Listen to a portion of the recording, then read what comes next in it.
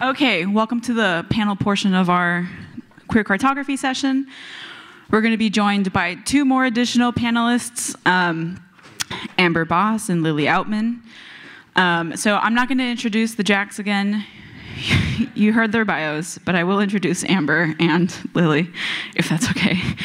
So, um, Dr. Amber Bosse is a MAP therapist and research strategist through her consultancy, MAP Bosse Co or Matt Bosse Company. Amber helps community engaged scholars integrate trauma informed practices throughout their research and teaching. She lives with her partners in Alaskan Malamute in Provo, Utah, where she serves as a local organizer supporting LGBTQ plus folks who have recently left the Mormon Church. Lily Outman is a second year master's student at Penn State, primarily studying mobile thematic map design and data journalism. They are also interested in queer, trans, and feminist applications of cartography in academic and industry settings. Lily enjoys tracking the lesbian bars they've been to on a map they made, including a they bar right here in Pittsburgh called Harold's Haunt. Is that where you went yesterday? Sorry. Okay, so um, my vision for this panel is that I'm going to ask a kickoff question, and ideally, I have to do a little work other than that. Um, if there's an awkward silence, I will fill it with another question. I'm going to save the last 10 minutes um, for you guys to ask questions about either presentations or anything that we talk about here today. Um, so the first, well, um, we're trying to get the closed captioning set up. Is it working? Yes, it's working. Okay, so the first question, the kickoff question, is for each panelist. Feel free to pass around the mic, and it's how do you define queer cartography? And maybe we've heard some of that already, but broad question. I'm sure it's not an easy answer. So let's start with Amber. Wow, yeah, thank you, folks. My answer to this question so I guess maybe I'd like to contextualize it with why I feel like I deserve space and and and uh, place in this conversation. Um, I live in Provo, Utah, which has the highest concentration of members of the Church of Jesus Christ of Latter day Saints, also known as Mormons. And there is a very interesting um, set of circumstances taking place in the queer community there. Uh, it's actually part of the reason I became more visibly queer upon moving there. I don't think most people understood I had any type of queer identity, it wasn't something that was a part of my professionalization. And uh, that's what's prompted me to kind of go and explore uh, issues of trauma within our work. I'll be talking about trauma informed mapping at four o'clock today. And so I see queer cartography as suicide prevention. There are a number of folks within the, the Mormon community and the kind of intricacies of what it means to be visibly queer. And um, for context, Brigham Young University in 2020 removed language from their code of conduct that's um, penalized students for engaging in same sex relationships. Uh, but then they continued to penalize folks for still being in same sex relationships. They just removed it from their documentation. And so that means there's a lot of um, you know, visibility is a very political uh, topic, especially now. And so I'm coming to this from a question of who gets the right to be visible, who gets the right to be mapped. Uh, and the, the modes through which that creates pathways to give folks an opportunity to see themselves and understand themselves differently. There are a lot of folks who did come out as queer throughout the pandemic. Maybe we're familiar with this kind of uh, this wave of folks who were able to feel freer in their identities. And so, uh, but with that, understanding that queer data gives that visibility in a particular way. It also asks us to um, again, consider questions around what we're doing with our maps that engage with queer data. I think one of the projects that I'm kind of working towards is understanding, or is maturing our capacities of understanding what our map portfolios should look like, and that not all of our data should be shared. I know we've been talking about this for a while, but kind of increasing the nuance and discernment that we're bringing to those conversations. So, queer cartography as suicide prevention. Well, first, I just want to say like thank you to Lou for hosting this, and to Lou and Travis for like organizing these DEI panels. Like, I really enjoyed the uh, accessibility one, and I'm really excited to be uh, here for this one as well. Um, I think that maybe the way I approach queer cartography relates a little bit to like kind of thinking about how there are kind of a few like broad labels for people's various queer identities but everyone's like individual experience with that within that is like very different. And so like throughout my life like trying to figure out what labels exactly fit for me has been a challenge. And i think now I have reached more of a place of like just like vibes and also like accepting that things may change as life continues. So I find it to be this like very individualized thing that for like simplicity, like we maybe do reduce down to labels sometimes, but um, everything is individualized. And I think that queer mapping is going to be a very similar thing. It's different for every person. It's individualized, and we might put them in these broad categories, but like each person's going to get something different from it. Um, and I am often thinking about like especially people in like more industry settings and how they might be able to in their everyday job whatever that might be have spaces for queer cartography and um, you know just yeah, like I think that there's really great academic conversations. Like I'm a grad student, I get to have all those conversations, and obviously, like anyone can engage in these kind of like theoretical conversations. But I think that it's like really interesting to make sure that everyone gets a chance for queer cartography. I think that also, like I really want to emphasize like the chance for joy within queer cartography. I think that obviously like maps showing like where there's spaces that may be scary to go to are like really important and acknowledging like the really harmful, especially like anti-trans laws are really important, but I want to acknowledge joy within mapping and I also want queer cartography to be in conversation with other critical cartography. One thing that has fascinated me for like the past few years has been kind of like body mapping and like cuerpo territorio maps. And I am very interested in like what trans body mapping might be, um, and especially like to do that in like a repeated setting and like have people like map changes and feelings about their body. I think would be really interesting, but also like acknowledging the individualized aspect of that. And i think that's another thing too is like there can be maps for like broad public consumption. Like i do study news cartography mainly which is a very broad audience but i think that i want to also have space for um, maps that may only be for like you and a few friends too. So i'll leave it there for now but i'm excited to hear what everyone else has to say too and talk more. Wow that was awesome. Um, i didn't uh, say my definition, but I'll be succinct because I, I feel like I just got to say a lot, which is that I think queer mapping is the responsibility for everyone who is left off the map or who needs to be left off the map. Yeah. And I love your definitions. Jack. Uh, well, I have a 20 minute presentation uh, that I just delivered that I'm happy to deliver again. No. I mean, I, I, really see it in terms, as I said in the presentation, of practice. Um, I, I think a lot back to my first time at NACIS. Um, and Bill is smiling at me there. Bill will remember this conversation, but we were talking, uh, and I said, you know, I don't think I could call really call myself a big C cartographer. I might call myself a little C cartographer. And what I meant by that is like, I don't make maps. My maps are kind of ugly. I'll be honest. I mean, I can keep working on them, but you know, it, it doesn't. all a setup for you to win the competition. I'll come with you. What, what, I think my ugly. okay, but I, you know, it, uh, design doesn't come naturally to me. Other things in cartography do come naturally to me. Um, and I really feel like over the past couple years, NACIS has made big strides. I've grown, I've become more confident, you know, whatnot.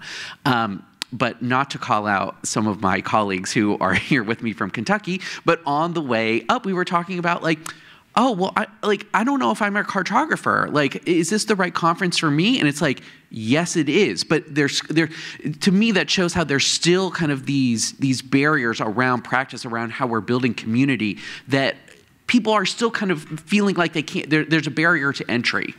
Um, that is higher than I think it actually needs to be. And maybe it's something in, in, how we market ourselves or perceive ourselves.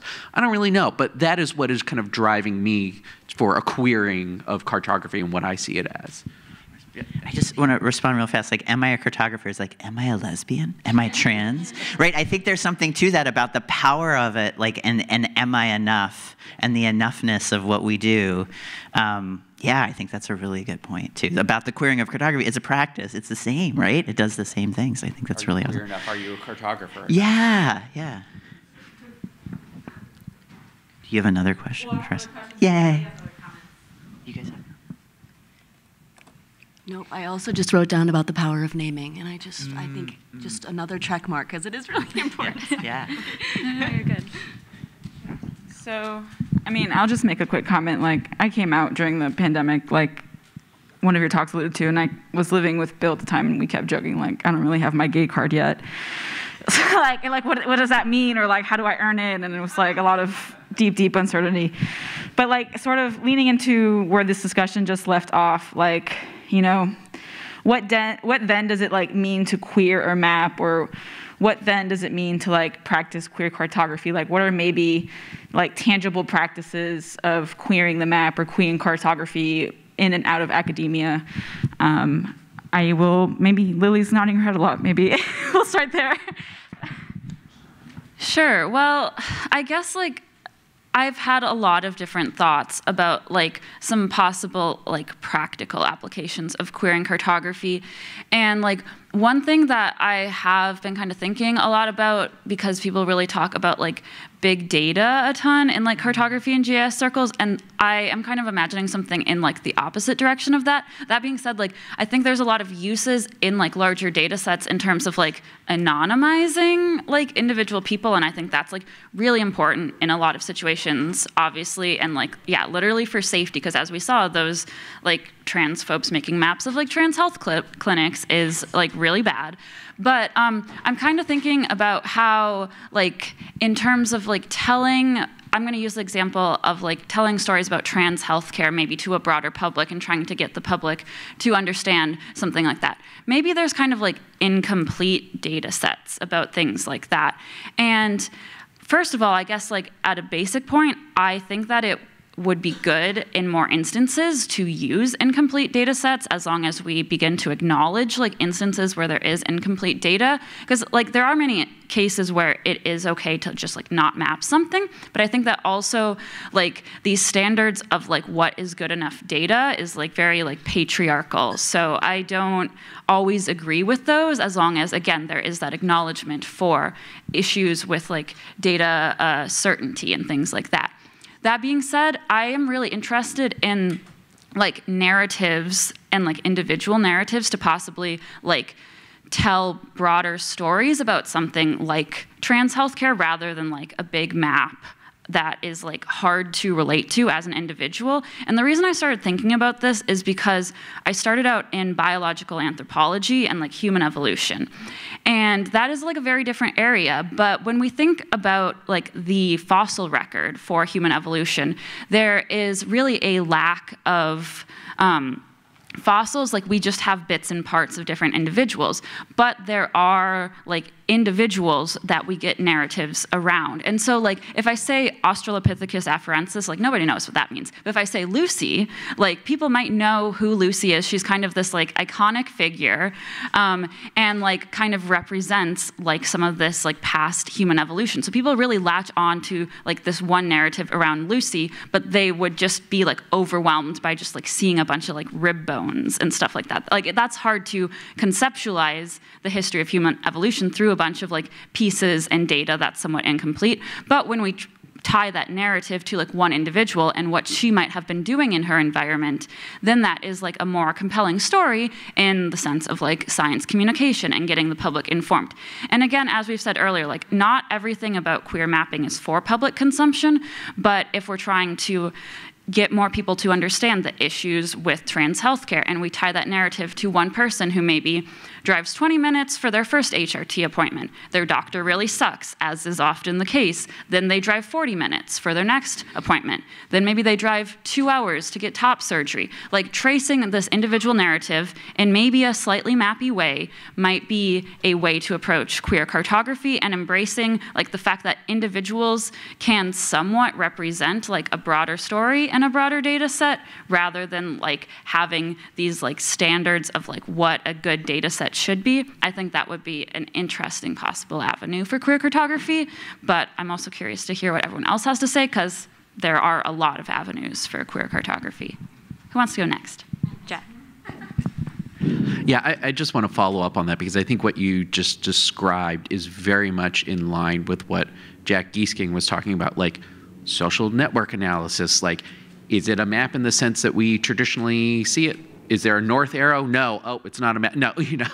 but this idea that we can have different types of visualizations that are geographic in some sort of way, that are telling stories, that are um, we don't necessarily see them as they all they do fall under data visualizations, but we are opening the door up to what is what is and what can constitute a map. And so I think this is kind of gets to this perpetual uh, question in cartography of like, well, what is and isn't a map? Is this is this right? Is this wrong? You know, it's like that. That to me is a is a moot point. Um, it, it because it's always going to change. And I think that that what what both of you have said is kind of saying like sometimes the map as we think about it and are trained to create is not actually what is best and you know acknowledge that and and bring in new practices.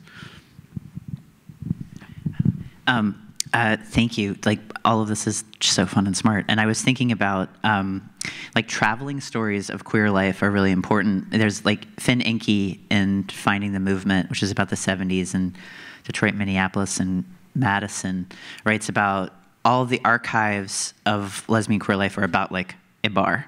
But then if you talk to people, it's about how they got to the bar and what they did beforehand and where they and then like I have three generations of people in, of lesbian queer New York who all ate at the same pizza place but didn't know it because it's just the shitty Rizzoli pizza number two. Like that's how bad the pizza place because it's cheap pizza and you're drunk and it's 2 a.m. and you don't care where you eat. And they're all eating the same place for like over 30 years. It's still there. Um, and I think these traveling stories remind me of Olivia Engel just graduated uh, with her PhD um, on geographies of abortion and abortion access in the UK, and these traveling stories of where you go and how you get, but also how you get medicine sent to you, like what travels to you, um, and it's it gets back to reproductive justice, which filters through everything that we're talking about here. Um, yeah, I just want to yeah. Yeah, kind of picking up Yes, yes, yes, yes, yes, yes, yes, yes, yes. I'm thinking about um, the ways that these students on Brigham Young University's campus relate to each other very much these travel stories that Jack was just talking about. Um, they're oral histories. Not a lot is recorded digitally, and that is a very strategic choice. Um, faculty members that have information or anything gesturing to allyship on their Instagram profiles have been recently targeted, right? And so there is a very high level of surveillance taking place. And so uh, we, we're reverting back uh, to these, these more oral practices of being able to share what safe spaces are. And there's even covert um, kind of attempts to mark what safe spaces are in, in real life physical places. I'm not going to mention what those techniques are, uh, but there are ways that students have developed to kind of create these constellations uh, across space uh, within Provo's um, kind of physical space, and then also taking the folks who do have the privilege to be visible, they are very much grounded within a, a very class-based privilege. Folks who are not as likely to be kicked out and experience, um, you know, unhoused moments, but they're able to, they they have enough support from their families. So of course intersectionality is always important, but I think there is, I'm seeing this, you know, up close and personal, the ways that uh, these different privileges. So going to Lily's point about uh, kind of the incomplete data sets, continuing to engage, and again, understanding the gaps and the silences as the areas that we're needing more care, we're needing more support, and we're needing to find ways um, to kind of traverse the, the silences and, and understanding the, the kind of um, fetishization of the digital data set is probably not going to serve us in these, in these really specific sensitive situations.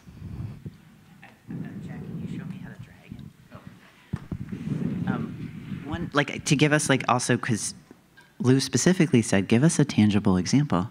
So I thought I would show a tangible example. Oh, you did it. Okay, great. That's cool. And I can, sweet. Okay, cool. And I can go move the mouse somewhere over, ah, yay. So um, this is LGBT map, and what I love about it and thinking about it is they go into relationship. These are like breaking down all the laws and policies. So it's not like how many people are where, right? So it's a really innovative way to think of like what what does count, like what affects your life. Um, here are state non-discrimination laws, and they're very policy-oriented, religious exemption laws. But you could think about how many white supremacist uh, organizing events there were too. You can think about um, how many Christian nationalist preachers there are in the state, right? You can take things apart in different ways that we start thinking about mapping and categorizing and like the impact and the effect and, and the trauma that's affecting our life that isn't exactly written into something uh, like policy, um, but it's there affecting us all the time and how that trauma works.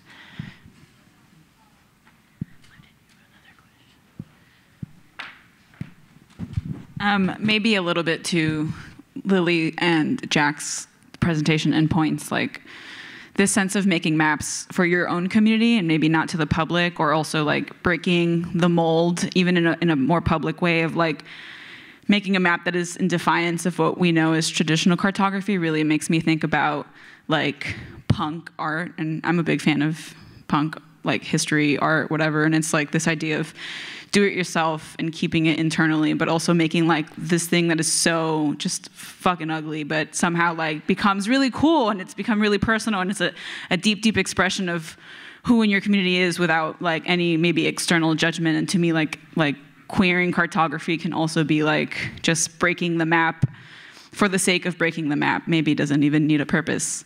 And I just wanted to say that little piece like queering cartography is punk. um, but um, I think this is a good segue for any audience questions. So if you have any questions, um, the mic cord is short. You're gonna have to like form a line and then ask your question. Not shocking. I have a question. Uh, hi, I'm Vanessa Knoppke-Wetzel, she, her. Um, let me, I kept re-asking the question in different ways in my head to try, try to find the best way, um, but I'll just vomit it out.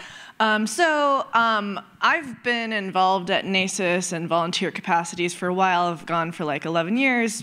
Folks who know me, me know me as a loud person who's done DI things.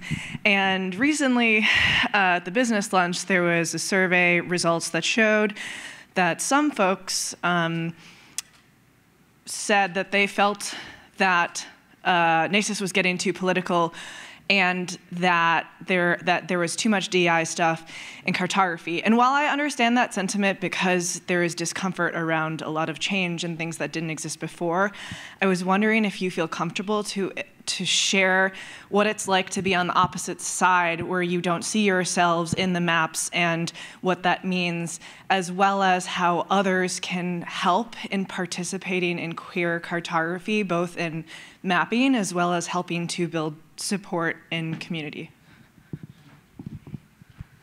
I don't know if I want to go first. Um, uh, this reminds me of Nat Fox's work, who um, just got a job for the state of Oregon uh, doing emergency preparedness uh, for marginalized people. Um, and uh, I did not know that the entire LGBTQ movement in Japan post tsunami became absolutely fixated on climate change.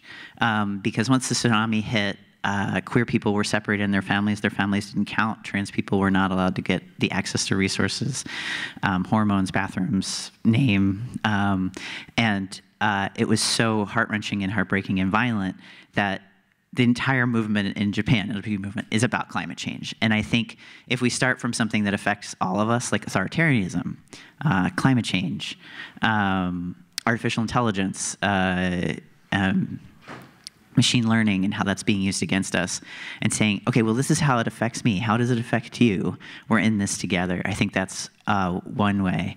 Um, and i think these things are coming for us. Like it's it's these kind of like as my girlfriend always says she got it from somewhere the apocalypse starts with oh that's weird and you know huh, like we, we, I walked by a tree and all the green leaves had fallen off and we just stood at it and we're like, she's like, that's weird. I was like, oh, you've been saying that quote? She's like, oh God.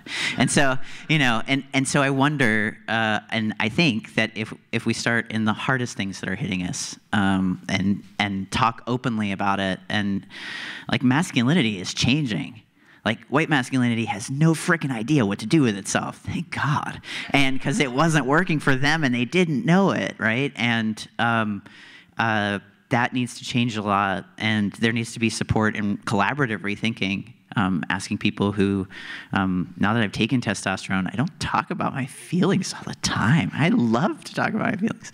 So um, just like how that access to words and sensation and affect shifts hormonally needs to be brought up more and allow different ways of thinking about that. Um, that's not this is natural, but uh, uh, and given different tools too um, yeah, so some thoughts. Oh, yeah. Thanks for the question, Vanessa.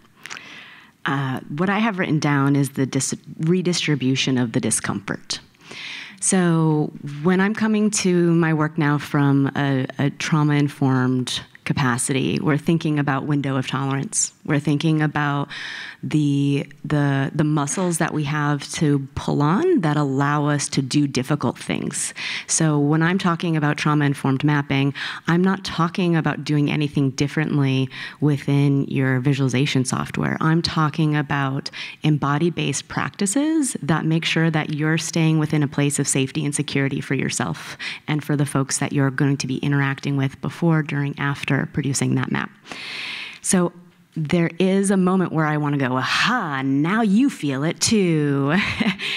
and also, pushing people out of their window of tolerance is not radical. To be radical, Paulo Freire, we talk about him a lot when we're talking about the banking model of education. And when reading this, the moment that really stood out for me is that he has this call about it's the, the, the job of the oppressed to reintroduce the oppressors to their humanity. And so there's a big moment here. We, it's not fair. It's not the work that I want to be doing. And also, it is definitely part of the work to hold space for folks who have not typically experience discomfort, they're getting cues of danger. That's I know that sounds perhaps um, you know overly sensitized, but when we're when we're feeling this moment, like there's something within our autonomic nervous systems that are cueing danger, and I think we're wanting to orient to safety for all of us. For, for we to, to make the point that there's a livable future here for all of us and we're not going to leave you behind. And so my response to that is you're not going to be left behind. Come along with me. Oh, oh I, I was going to say so. I'll, I'll, make it. I'll make it fast because I know you'll have a good question. So, um, I just wanted to respond to two things that Amber and Lily had said because I, I, I think you both hit the nail on the head here. Um, you know, it does take, I, I, wrote this down, it takes time to be queer. Uh, it, it, does. Like, I, I think about, um, this is you know very kind of like a rational economics view of it but like you know the time that i could have spent writing this talk i could have spent like trying to make a map that looks beautiful you know? Even though i'm not sure if i no i can't do it but like, but you know I, I need it all the time to, to make it look good. Um, you know like like there are trade-offs that that queer people and other minoritized populations have to make uh, and that's you know period you know like like you don't need to talk about it more like there are trade-offs um, and I think I wanted to kind of speak to some, something Amber said about like, you know, uh, we're not trying to leave people behind. And, and I think that that's very fair. And I think if you feel like you're being left behind, it's because you're choosing to be left behind. Um, and I, I, very much centered my talk. And I, you know, I said this about how it could be, you know, seen as politically conservative to come back to cartography. But because I, I, see, and what I was trying to show in that talk is that queerness is already here. It doesn't, you know, we can choose to ignore it if we want but it's already embedded in our practice. So, so you, are part of it, whether you acknowledge it or not. Um, and then the last thing I want to say is that I, I, too kind of similarly found that at the business meeting, you know, it was off-putting, but the the um, you know, the word on the street from what I hear is that that is a very, very small number of respondents. And so I think that that is good. You know, in any event that, that goes on, you know, you're always going to have some sort of naysayer detractor. Um, and so I think, you know, the fact that it's not actually that's that significant of a number of people shows that we are making good progress. But of course, you know, as always, there's still more work to be done. Oh, sorry. Just and that's how white supremacy works. Like you, you make yourself into the victim, and Christian nationalism and Zionism, right? That who remains, and that the victim is a static position, and that you are alone and lonely, and that is also media that is produced to keep people in those places and to keep those movements going and to keep power and to um, destroy democracy. Cool. Um, I'll be quick, but I just wanted to thank you all. Uh, I wish I could have written down everything you were all saying. It was amazing. And if you know of resources to share, I don't know. I started posting stuff to this Slack channel, but maybe the D and I Slack channel. I don't know. I just I feel like I'm constantly refining resources, maps, things, books, things to read. So. Um, I this is sort of based on a few things. I thought Amber, what you said about being um, taking time to be visibly queer. That was so, it's brave and it's amazing because as, uh, you know, a woman and a lesbian that completely looks like a cisgender heteronormative person, I've always thought about that. Um, and I'm always like, as I've grown more confident in myself and in my position, and I have lots of, um, uh, I'm totally blanking on the word, but I live in like a position of power. I'm like, well, I want to be able to, you know, have myself be visible as an ally. So, um, but also just sort of bouncing off of what Lily said in Finding Joy, since we're sort of wrapping up here and we got a little heavy. I was, uh, um, I thought it would be fun, and I'm always curious of like what you find, where you find your joy in being queer or as a queer cartographer. I got lost on like lesbian TikTok during the pandemic and I don't know if it's like, it, I think that would be really cool to do like social media analysis on, because I'm like kind of in this weird range. I don't know what Tumblr is, and I'm like, do I have to get on Tumblr to hang out with the cool kids? I don't know. Um, can you tell I'm 40? Yeah, like, I'm like, what's cool? This is going to be our last question, but a fantastic question to end on. So, like, where do you find your joy? Does anyone else want to go? Okay, all right, okay, perfect, perfect. Um, I, I really find my joy in queer cartography from the historical things um, through, uh, which is unsurprising if you know me. Uh, uh, you know, I've, I've you know, kind of through collecting queer maps. Um, I, have talked to older queer cartographers and whatnot, and it's just, um, in some ways, it's awe-inspiring to to hear these stories and to hear um, oftentimes I, I, I, find that they're really excited that somebody wants to talk to them about their experiences. And because of that, you know, I, I, I oftentimes get off the phone with them and I spend 45 minutes writing down what I have heard and you know I, I, don't know maybe i need to throw those things out because i haven't asked for permission you know like like like there's a there's a politics to that but i but i feel like i'm being entrusted with knowledge that is very geographic, very spatial, you know, things about practices that I had no clue about, that I have never seen anything about, um, that just, it, it's just amazing to me. Um, I also follow the, um, oh, well, actually, this would be kind of depressing, so I, I'm, I'm going to move on. Hi. Um, where's my joy? I think it's in, in ta-da, social networks. I think maybe I didn't even realize it because trans, like the trans maps are, they're sad AF. So trying to find other ways of, wow, look how amazing we are, look how connected we are. Um, and I think that's what I did in queer mapping when I thought about this concept of constellations. I was like, how do you turn that frown upside down? Like, what what are we actually doing? See all the work. It's amazing. You're, you're incredible. Like, you lived again. That's, that's incredible. And there's a little bit of healing. Um, yeah, and I think something also that is changing that I find joyful is multi generational queer connection is becoming acceptable, and I think like something I it was at first the movie Carol like this cross generational lesbian dating which gay men have cis gay men have always had, but um, I think something else has changed with this refusal of the pedophile narrative. Like we're like actually no, we don't believe you. We have data, um, and this is a good use of data. Yay! You know like um, you know you have projected this onto us the idea of the groomer, the anti the more the anti-trans laws go up with the idea of groomers, the more there's a kind of like cross-generational acceptance for saying that's actually never been true. And so I think there's a, a kind of healing happening there that I think is really beautiful in connection. So my answer, I think, is kind of in the opposite direction of Jack Swab in that it's kind of like younger people and like the future of what queer cartography might be really brings me joy. My lab recently had a like kind of like lab kickoff thing because we're a pretty new cartography lab at Penn State, and I had my lesbian bar map hanging in the lab, and there was these two freshmen who had come to the talk, and one in particular was really really interested in my lesbian bar map. She had, or she was starting out as a ge geoscience major, but I think we can get her over to geography. Um, and she was just like amazed that like within this like somewhat scientific realm that someone could make a map that is like so personal um, to their own experience. And you know, she hasn't read any theory yet. She hasn't taken a cartography class yet. So she basically has unlimited possibilities of like what she could make. She's not held down by any previous standards. So just seeing that passion and that joy in younger people and what they might be able to bring to cartography is what really brings me joy. Yeah, great. Um, there's like a capacity that queer folks have to clock each other, even if there's not uh, any like really discernible cues. And so I get the most joy when when I've been clocked, and then there's a person who comes up, like goes out of their way and just lets me know about, you know, their new girlfriend that they have. and it's just so delightful. And uh, I've gotten, you know, notes under my doorstep thanking me for my pride flags. And, and so there's these moments, um, kind of like the besides and slantwise moments of, of that, that connection and that celebration, especially in the face of all the heaviness.